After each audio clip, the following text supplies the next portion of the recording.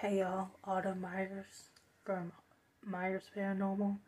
I'm in here editing in a video that we did last last week. Well, before Christmas at a um, cemetery at night, one of our night hunts.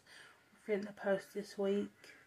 This was a camera we did to the side to get the host cemetery, see if we could catch something. And um, this camera's pretty old. I used to use it few years ago for something else and uh, it likes to try the focus so it goes in and out when it something moves in front of it to focus on it.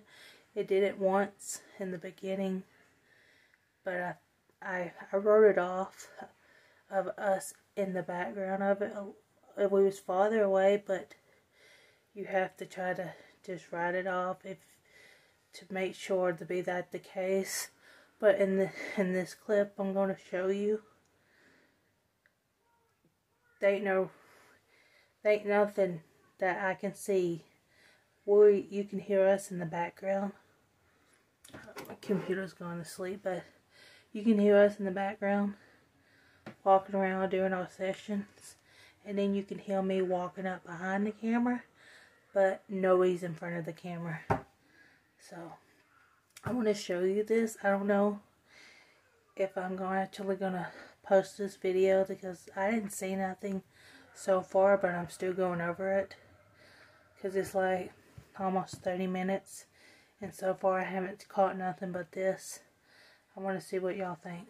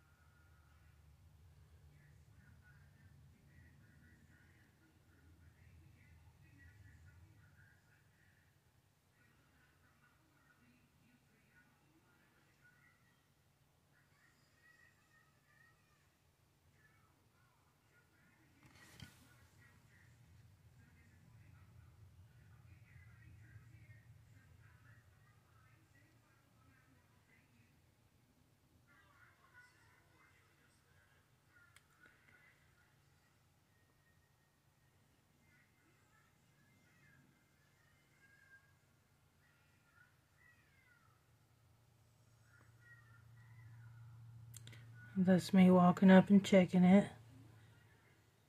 And then when I walk away, it does it again.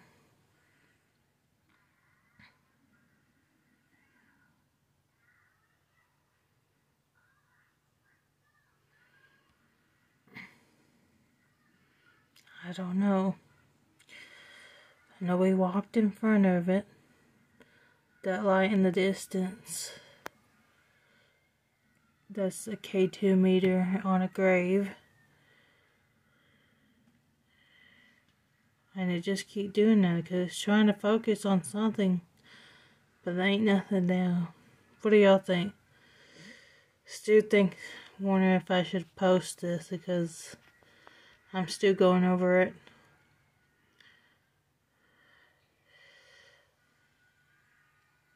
You think it's trying to focus on something that's that we can't see? Or do we just finally need a new camera when we can get one? Which definitely we're going to get a can new camera too when we can afford one. But to me, I think it's trying to focus on something that we can't see. But I thought I would show you that and see what y'all think about it.